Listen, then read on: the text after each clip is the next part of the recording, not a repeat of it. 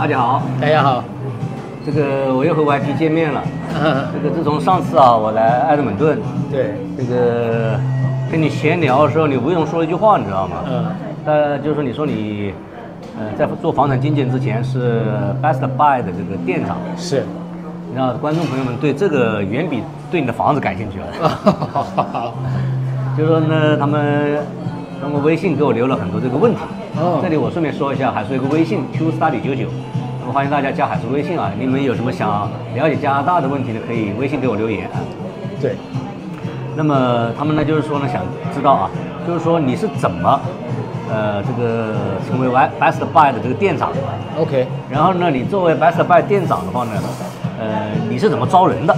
可以，可以，可以。啊、好，我们先聊这两个问题，好不好？好好好，你你是移民这边有二十年了，有有，零三年来的零三年来的啊。对那么先是做留学生，国际留学生，对，啊，就是说你要知道从国际留学生，然后成长为这个洋人，就是国际大型连锁企业的这个我们说是这个中层吧，是吧？中层高层，中高层对啊中层高层。对这个用了多长时间啊？嗯，前前后后我在 Best Buy 做了十几年，做了十几年，但成为店长用了多长时间？呃，差不多七八年。七八年，这个听上去有点长，但实际上过起来是很快的，因为读个书嘛就四年。对，啊、就是说，所以也就相当于很多人研究生毕业的时候，你就相当于当店长了。差不多，对。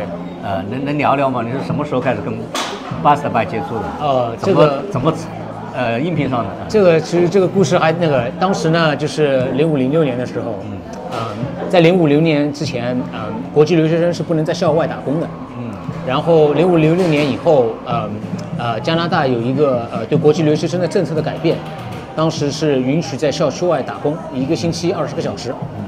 然后呢，当时机缘巧合，我就是这个人比较喜欢多看看、多体验体验，嗯然后觉得对以后可能呃就业啊什么都会比较有帮助。对所以我就辞去了我在呃大学的工作，呃餐馆嘛，一般就是那时候的学生都大学的。兼职工作。兼职工作。我我我插入一下，嗯。就是说呢，那个时候的这个学生打工者有点相当于现在美国的学生打工者，就你只能在学校校园范围内工作。是，啊，那也就只能是要么清洁，要么就是餐厅里端端盘子啊，对对对对对啊这个售售饮啊餐店什么啊对对对对。对。因为你抓住了这个加拿大放开留学生可以到社会上工作这个契机，对，当时一一打开，我就觉得这个在这里嗯整天端碗端碗碗洗盘子，这不是个事儿，啊是吧？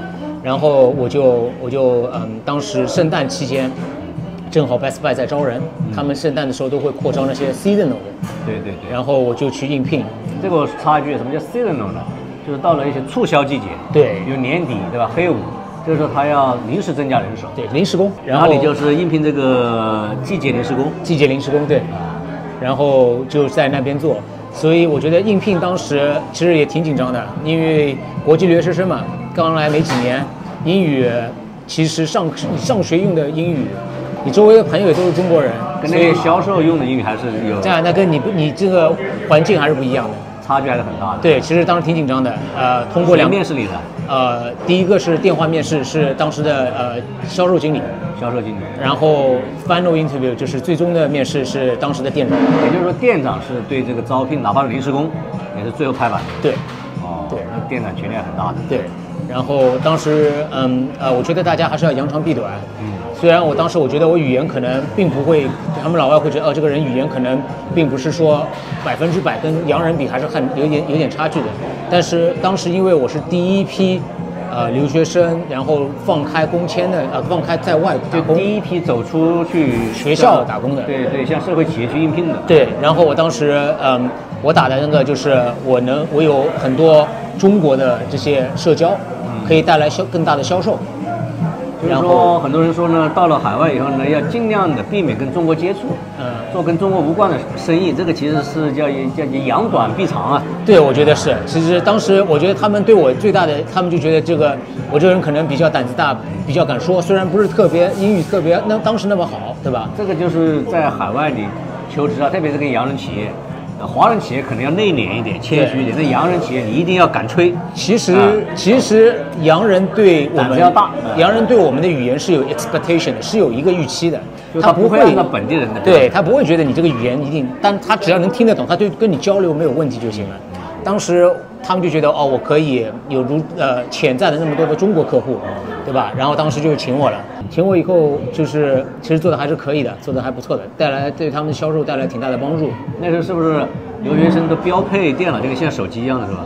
对，当时电脑电脑就是非常标配，然后都找你大都都找我，就是只有你一个说中文的呃，爱爱称电脑一哥。那时候零二零一零年之前，电脑还是对，零零八年、零七年，对那时候是最好的时候。对，然后对，当时就是我我过了这个 season，他们当时就想就问我要不要继续干，啊，就是你表现好，哪怕你是个季节临时工，你就可以变成一个全年的临时工了。，对他就不是临时工了，他就是变成一个正职的工作。但你那时候毕业了吗？兼职没有没有兼职嘛啊，就是长期兼职嘛。长期兼职，那还算临时工的。也对，但是他他就是不是再有时间限制，你可以一直做下去，因为当时临时是也有，我是签十月份签到十二月底，啊，就你的合同是无限期的，对。所以每周工作时间是二十个小时，对，啊，因为那是签证政策要求。是我不能做过二十小时。然后就是当时因为吃了第一波红利吧，对吧？然后做的销售还是相当不错的，就是比较留学生啊、中国人买电脑都会知道我，都会来。这也就是给大家一个启发，呃，特别是中年朋友，如果你到加拿大来，那么你如果能把过去的国内资源用好，能跟这边某些企业对接，能够让他们产生新的效益，对吧？对对那你就很，那你找工作，找工作不一定容易，但至少你工作以后表现就很容易。对扬长避短啊扬长避短扬长避短其实包括找工作也是，我觉得也是有可能的。是有可能，但是胆子还是要大，然后还是要有工作经验。因为我以前在新西兰的时候就听说一个故事，有一个女孩子，对吧？她就是打着那种拿着旅游度假签证过去的，但是她很懂外贸，嗯她去应聘了一个印刷厂，帮人家从印刷厂干嘛呢？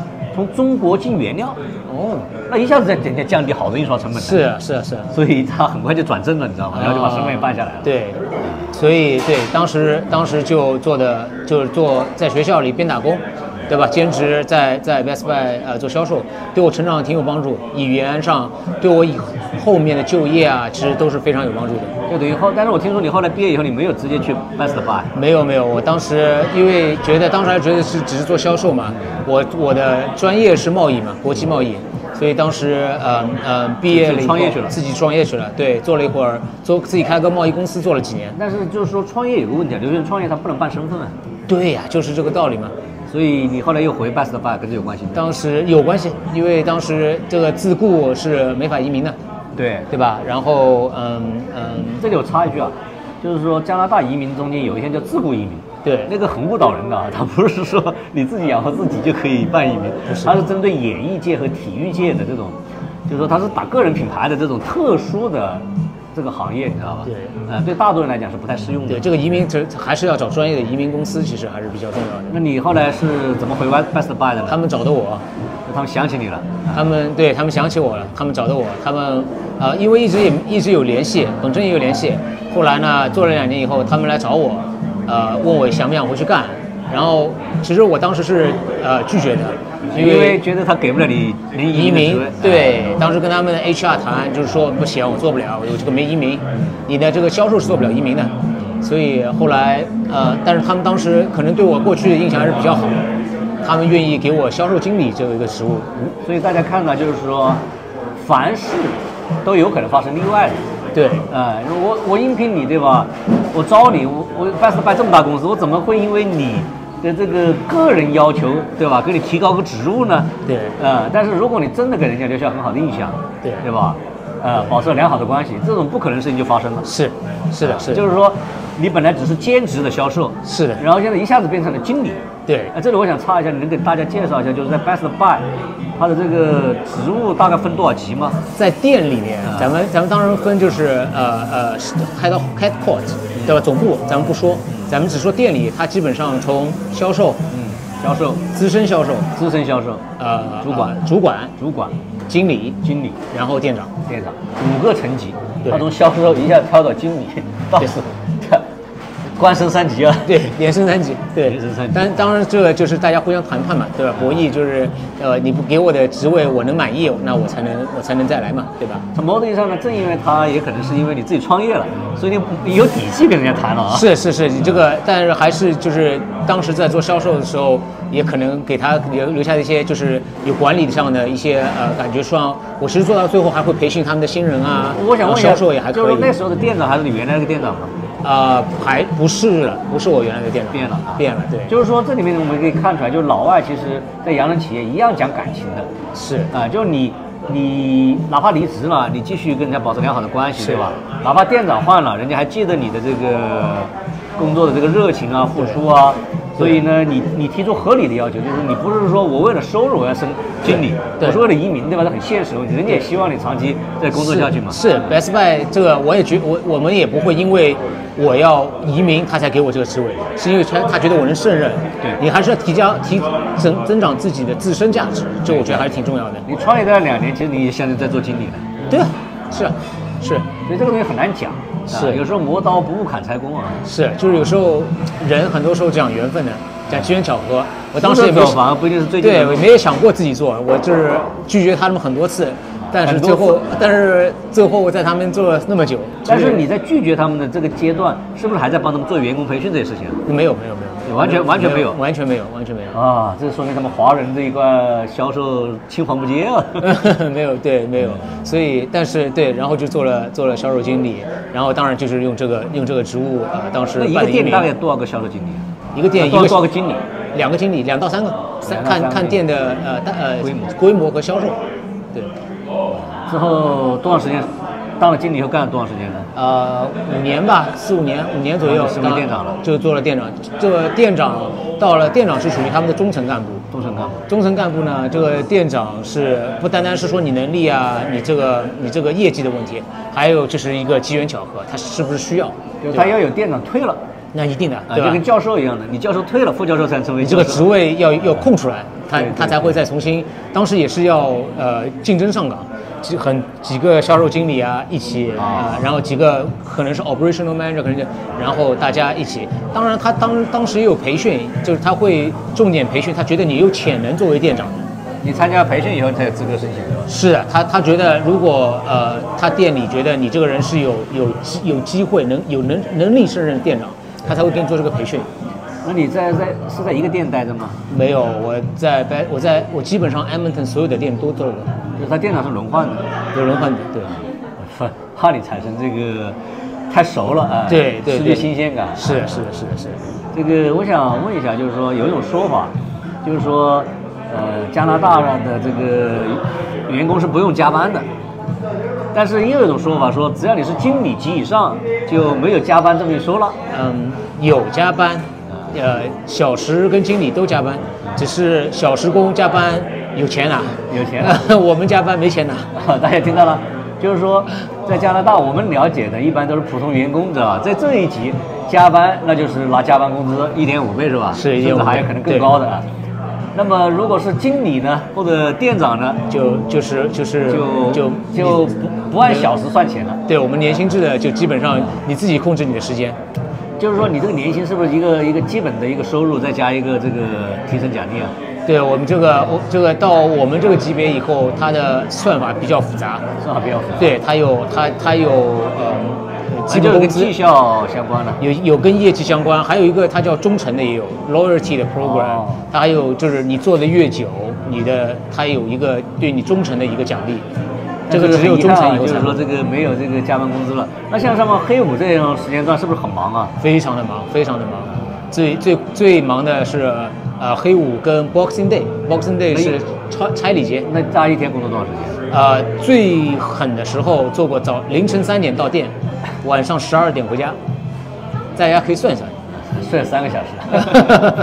二十个小时吧。就是说，大家知道，就是说这个这个，呃，其实西方也跟中国呢，就是说他在普通老百姓层面没那么卷，对但是在上面还是很卷的啊。对，这个这个就靠就看你自觉了，也有也也有就是上的时间少，也有上，但是你自己，但是你的店很明显就被人给干掉了。你就对啊，你有你要有你要有竞争意识啊，你要你要对得起嘛，对吧？这个时间，加拿大还是比较讲究 life 呃 working balance，balance，但他不会天天这么狠不会不会不会，对，到那一天，但是像比如说这一天上完，等 slow 了以后，我可能会休一个星期，一个星期补那一天。其实你这样想，其实还是它很合理的，但这一个星期呢，他也不扣你工资，不扣，他养着你嘛，就是？说他，就是这有点相当于中国古代掌柜了啊。对对对，就自己控制时间，就你也相当于一种某种意义上相当于一种合伙人了啊。对对啊，所以他不用天天盯着你每个小时的表现。他也没有他也没有规定我一定要上二十个小时，他从来他没有从来英文说啊，你这个 Boxing Day、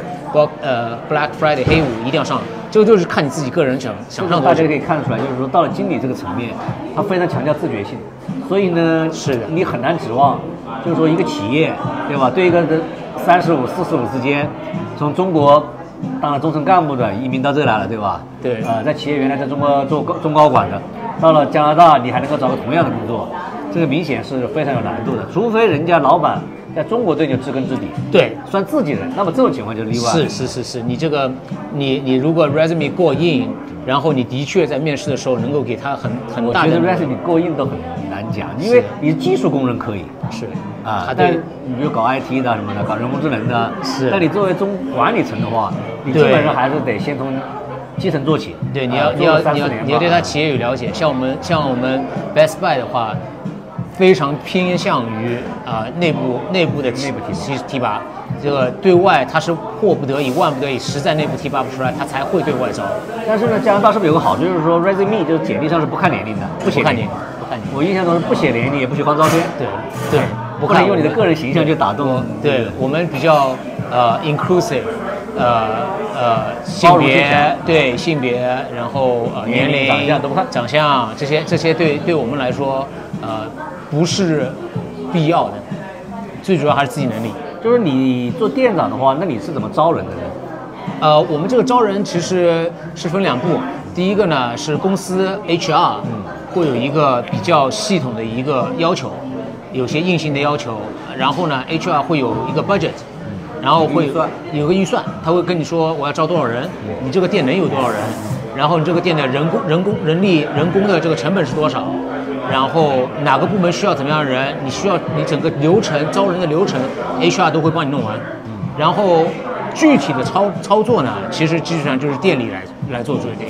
然后一般来说呢，就是会有一个呃，先看一遍 resume，我们招工的时候这些简历，它是发到 HR 呢，还是直接发到你们店长手里？直接发到发到我的呃 operational manager 应聘，就是那个运运营经理那儿。啊，叫运营经理，就是运营经理用人单位那儿的。对，然后是他集团的 HR 要过一个，啊，那然后比较好。集团 HR 会告诉你，你你要招多少人，你这个店有五十个人，然后你这个店现在有四十个人，那你就缺十个人的岗位呗。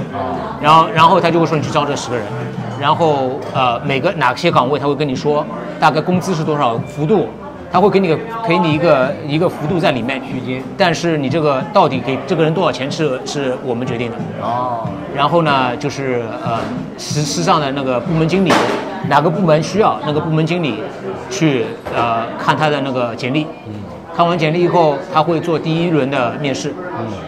他第一轮面试有可能是呃视频视频会议，有可能是电话会呃面试，也有可能是当面面试。这个有区别吗？这个其实是没有区别的，这个是跟呃这个经理跟这个 season 都有关系。他如果是特别忙的时候，比如说对圣诞的时候，他不可能安排那么多的当面，他就可能会就是视频会议。但比如说 slow season，他没有那么忙，他只招一个或两个人，那他可能就会让你当面来一下。这是看看他的时间，他那一关过了以后呢，就到你这来了。他那关过了就到我到店长了。他会给你一些什么东西吗？他会，他会有，他会有一个他的面试的一张 form 一张表格，他当时他面试的问题，对方的回答，然后他最后会有一个评语，啊、他还会有个建议，对吧？他会建议，嗯，他的优点，这个人的优点在哪，这个人的缺点在哪，然后全部给我以后，我会看一遍，然后再他会跟我约，看着我的时间，给我约一个我们叫 final interview 最终的面试，对。然后你面试的时候主要是看什么呢？啊、我面试当然一一般，如果说第一轮面试过的，就是硬性的要求，基本上他就已经肯定是过的，对吧？看软性的。对我对对我来说，就会看这个人的性格脾气 personality，然后 flexibility，他他对应变性应变性，然后他这个时间，对吧？他什么时候能上班，能不能符合我我这个 business 的要求，对不对？然后嗯，还有就是他对这个他对自己的期望，他就他想将来是只是在这边赚一份工呢，还是希望在这边也有个发展，就各类各样的问题。就站在经理的角度，他更看重是你能不能胜任这份工作。站在初级经理，他会看的是现在这个岗位，这个人能不能做。那站在店长角度，他看的就是你能不能成为这个人力资源的一个长期的一个组成部分。对他是不是有一个 engagement？对我们来说，就是有没有一个这个自主性，他是不是有一个可发展性？然后他对我这一个店的这个这个 team，呃，会不会有负面影响？因为其实这个就是一个一个一个整个团队嘛，你这个人的性格脾气能不能融入这个我们这个团队这？很重要的，你对吧这个跟同事搞不来，这个对对，你能力再强，你这个这个大家互相不能合作，所以这个对我，这是我我看的，他们看的是他实际上能不能做，我看的是他的将来，他可能性。那就是说，对于这个，呃，那那在你的这个店长生涯中，你有没有招过中国的有啊，当然有。对我，我是我们店公司有名的爱招中国人。我我我就是嗯，在我去任何店，如果他在店里没有中国人，如果有岗位空缺，我的第一选择就会中国人。这样的这个店长要越多一点好，啊，多一点好，像印度人一样的，中国人帮中国人。这个不是中国人，但不单单是中国人，我觉得这个是对一个生意的也是个帮助。如果一个中国人，如果这个店里面有个中国人，慢慢慢慢，你自然会觉得中国的客户就会多。你去你去过 Richmond 的 Best Buy 吗？有 去过，一半中国人吧。对，这个这个不一半中国人，一半印度人这个不是种族的问题，这不是种族歧视啊，也这个只是在商言商，对，在商。是吧？这个听说你当时也有机会调到这个 Rich Richmond 这个对对列斯对对对，你为什么没去啊？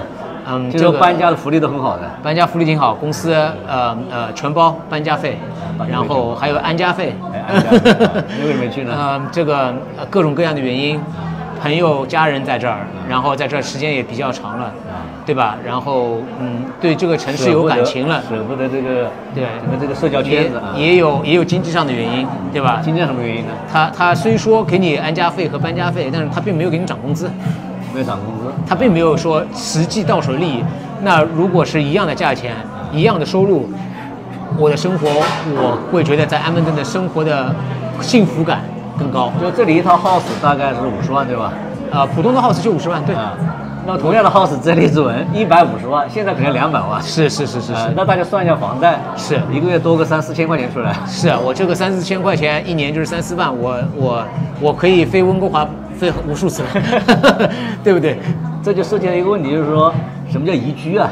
宜居这个东西就是非常好，大家对我们这儿有一些误解，就是气候，气候是宜居一个非常重要的，我不排除，我觉得这个地方的确是宜气候是很重要的，但是我觉得你还是需要看很多基础建设、教育、医疗，对吧？然后这个呃房房屋的可可负担性、生活成本，综合的考虑，你一年呃，如果说普通加拿大人一年赚五六万，如果你并没有前期的投资，你在温哥华能够住怎么样过怎么样的生活？就是说没有家里的支持吧？对没有从中国带来的钱，对吧？是这个你要在温哥华，你可能就五十万只能买个 apartment，还是非常小的，过是类似于香港的那种居住非常非常贴在这里你可以有个大 house。是的，是的，是的，所以呢，就是说气候这个东西呢，大家一定要注意啊！现在是已经是二零二三年了，真的是呃，不是一百年前，也不是两百年前，是，就是说，在这样一个老牌发达资本主义国家，你根本不用担心这个气候对你的生活有多大影响。其实影响真的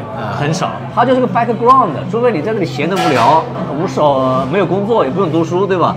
那你每天的确要出去活动一下。对对对可能逛商场也不够你忙，是够你逛的，你可能一定要到野外去，那你肯定要找个是像温哥华一样，四季都能出去的。其实温哥华四季怎么讲？你除非去滑雪，否则你冬天出去也不舒服，冷得要死。对，其实这边滑雪也相当的不错。那么你但凡有份工作，你就是从家门口开车三十分钟，对吧？一个小时就太太太太费劲了啊。是然后你就到了单位，单位肯定室内，对不对？一般不会室外，对吧对对对对 然后你工作八小时，是然后你离开又是开车又是接孩子，对吧？啊，而且这边就是说接孩子在室外还是室内还是？室内啊，室内啊，就就就是到了学校，哦，那这你就是你是掐着点嘛，差不多就那么就几步路，几分钟啊对吧？上了车你又开回家，是所以现代人，我实话实说，大部分时间还是待在人造环境是最舒服的。是啊、人造环境呢，就跟这个你这个刮几级大风啊，下多少雪啊，就关系不大了。我们我们这儿经常是室外零下三十度，我室内穿短裤短袖。对，就是说，因为加拿大它的能源很便宜，是，就真正影响你生活品质的其实是房贷，其实是是你的生活成本？这还不是生活成本，房贷对。房贷什么概念？你在温哥华，你随便买个一百五十万的房子，就是 townhouse 啊，对吧？啊，你在这里再住公寓嘛，就有点那个了。就算公寓也也不便宜，也要七八十万，啊，你还能住的稍微宽裕一点。是那你一个月的房贷，对吧？是，基本上就是三千到四千，其实非常很普通的了是。啊。而且生活的愉悦感，我知道海叔，呃，要才看观赏一下我们这个这边一百五十万的房子，刚刚看了对吧？一百五一百五十万在在温哥华跟一百五十万在在埃蒙顿，这个差距很大。是吧？你这个房子一百五十万，你可以在温哥华的当趟买个大概八十平米的一个公寓，小公寓。就是说你这样的话呢，你想想看，一个月三四千的房贷，这是税后的，是你生活费至少准备两千嘛，而且是很紧张的。现在两千还挺挺紧张的，啊因为你有汽油费对吧？电费、通讯费、网络费，这都是基本开支，是差不多干这七八百。然后现在买菜也挺厉害啊然后你买菜一千多块钱吧，是啊，已经算很便宜了。那你这样一下来，你就是差不多准备六千块钱，这是税后啊，是，这就等于是税前大概八到十万的收入了对，啊，就是夫妻俩必须一起工作。是那你一个人呢，挣到五万，你在你在埃德蒙顿，你一个人就可以养家了，是。家里的老婆就可以在家就就可以照顾家庭了，就是不你这个用去工作了。你这个三四千块钱，就光房贷的差距，就是一个 一个老婆的一个一个老婆的一个老婆一个老婆的收入一个老婆的收入一个哈一个好的老婆，很开心老婆，还是一个天天天天也要在外面打工 happy life 对，就是说，在这边贷房贷一般是月供多少钱呢？呃，这边房贷如果你五十万的，也就是两三千吧。两三千啊，对还有三千啊，差，你看，你看，你看，初期这个那个当首付多少？对，五十万我觉得应该两千以内。嗯，两千，对我我对两千以内，如果你首付可以的话，两千以内哦你没问题。你是那种首付百分之五的是吧？我没有没有，我我们家当然没有，我，我没有就讲你说的那种要做三千，那肯定首付百分之五了。对，差不多对。大家这边在爱德百分蒙顿可以首付百分之五。对，但是要买一个保险是吧？之是买一个叫那个呃 mortgage insurance，但如果超百分之二十，首付百分之二十就没有 mortgage insurance，mortgage 对 insurance。所以在这边真的，你你要拥有自己的家还是很容易的事情。对这个这个还是非常友好的，对对于刚刚起步非常友好。就能问一下你为什么会决定辞掉这个店长职务来做房产经纪人吗？呃，这个生活嘛，这个第一我是觉得呃，到一个年龄该该有一个变化了，然后我觉得这个产业行当也会受到科技的影响，会有一些呃受变网络的这些冲击吧，啊对亚马逊对啊，亚马逊啊什么的，然后呢。电子产品是太标准了。对，然后我到我这个，我现在想体验一些不一样的生活，体验不一样人生，然后希望能够更加自由一点。其实这个问题呢，就有点相当于很多朋友在国内，对吧，做到企业中高管了，四十岁左右，然后为什么想移民呢？对，有时候就是想，就想改变一下人生。是是是啊，人只有一辈子，但你可以过两辈子。就是嘛，嗯，差不多意思啊。是这个意思说做房产经纪人呢，他就没不用对那么多人负责了，我对自己负责，对自己负责。你原来作为店长，你要对一个店可能四五十号人负责，一百人负责。那个一个店一百人，对，怎么那么多人？我有些店我有过五六五六十，也有过一百人。哦，你最多管过一百人啊？对，一百三十个人，一百三十个人，大家不要小看经纪人啊。一百一百三十个人，你的生活压力其实挺大的。那是的，你不是对自己负责，你对一百三十张嘴负责。对你现在就可以就只对自己家庭负责就可以。对我也经历过，因为我以前也做过公司嘛，对管过六十几个人。哦哈啊，我也觉得在国内啊，嗯现在我觉得我我他妈管我一，我现在就觉得管我一个人就太舒服了。对对对，挣的钱不一定少。呃，对对对对对对，多点时间给家人，多点时间给给小孩儿。也多点时间给自己吧。就是说你要知道，呃，哪怕时间是一样的，但是你脑袋里的空间是不一样的。当你要为一百五十个人去操心的时候，和为你一个人操心的时候，这个是差异很大的。其实做经济这个，呃，时间也不少。那个我一我其实现在，因为我后来做到店长做的久了以后，属于一个 senior 比较有经验的店长以后，我对自己时间管理还是比较在行的。现在做经济，我其实每个星期花的时间是比在做店长的时候上班的时间长。我觉得你是一种创业型人格。对自己喜欢这个自由性，但是但是更有一些感觉，就像你说第二个人生。对，像旅游一样的嘛。什么叫旅游啊？就是我一个朋友的话来讲，就是从你待腻的地方到别人待腻的地方。是那么换职业也有这味道啊。对对对对从你干腻的工作去干别人干腻的工作。是就是这么回事儿人生就这样啊。那么今天非常感谢啊，这个 YP 给我们介绍了这个自己非常没有，我非常非常感谢有给我这个机会，嗯、跟更多的朋友呃聊一聊我的我的情况，我的我的我的经验。